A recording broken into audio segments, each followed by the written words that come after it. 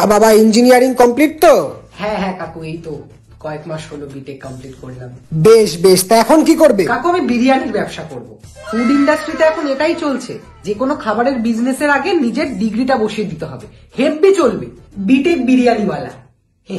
আমার গার্লফ্রেন্ডও তো গ্রাজুয়েশন কমপ্লিট করল। She is also joining the food industry graduate ঘুগনিওয়ালি। আমার পাশের বাড়ির মনোজ কাকুর ছেলে শুভদা ও তো পিএইচডি কমপ্লিট করে ফুচকার দোকান দিল।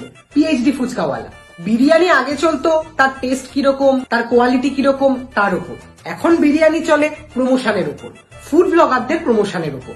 আমি সবকিছু প্ল্যান করে নিয়েছি। বিরিয়ানির দোকান দিচ্ছি মানেই যে প্রত্যেক মাসে বিরিয়ানির দোকান থেকে আমার অনেক টাকা উঠে আসবে, সেরকমটা তো নয় না? তাই জন্য আমি ফেসবুকে একটা পেজ আর ইউটিউবে চ্যানেল খুলে নিচ্ছি। ফুড ব্লগারদের ডেকে ওদের হাতে বিরিয়ানির থালা দিয়ে ভিডিও বানাবো, সেগুলো পেজে আর ইউটিউব চ্যানেলে ছাড়বো। তাই থেকে আমার ইনকাম হয়ে যাবে প্রত্যেক মাসে ভালো মতো।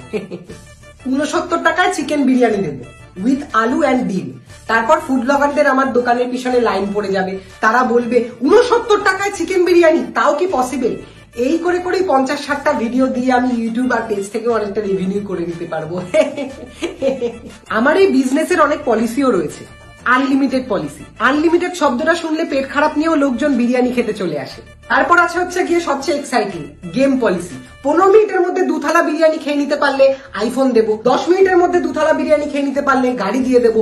পাঁচ মিনিটের মধ্যে দুখানা বিরিয়ানি খেয়ে নিতে পারলে আমার দুটো কিডনি দিয়ে দেবো। আর এই বিজনেস করার পিছনে আমার মেন উদ্দেশ্য হলো গিয়ে ফেমাস হওয়া। তো এই সমস্ত বিরিয়ানির দোকানের মালিকদের আজকাল সব রকম রিয়ালিটি শোতেই ডাকছে। আমাকেও ডাকবে আশা করি। ঠাকুরের ইচ্ছা এখন তাহলে উঠি আমার রিহার্সাল রয়েছে। কিসের রিহার্সাল আবার? ওই যে ইঞ্জিনিয়ারিং করার পর কেন বিরিয়ানির ব্যবসা খুললাম? ফুড ব্লগাররা তো আমায় জিজ্ঞাসা করবে তাই না? সেটার উত্তর দিতে হবে না সেটাই রিহার্সাল করব। একটা স্ক্রিপ্ট লিখে রেখেছি। এলাম হ্যাঁ?